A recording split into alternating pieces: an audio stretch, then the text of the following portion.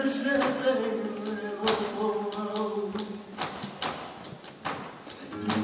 tu te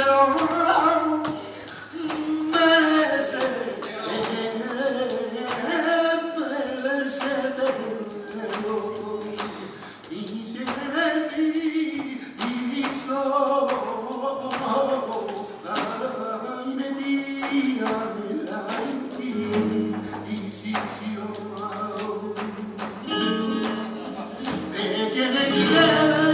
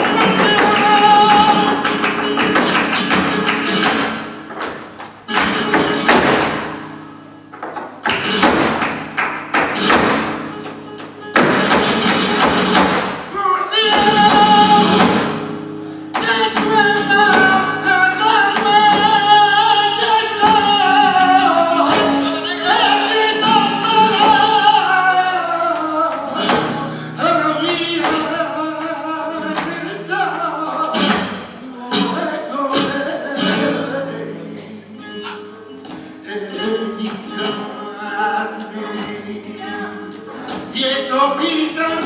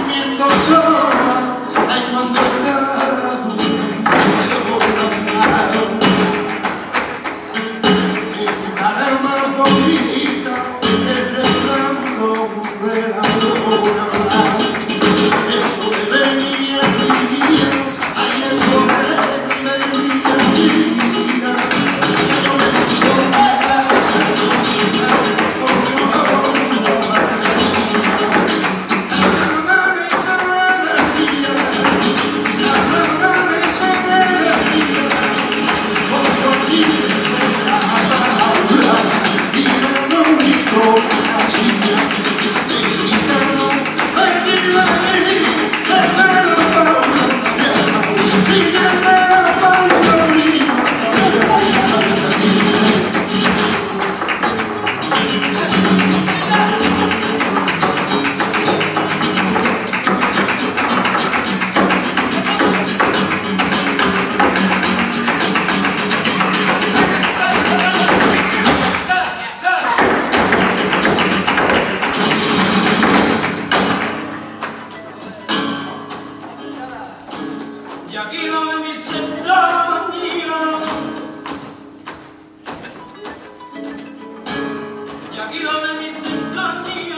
when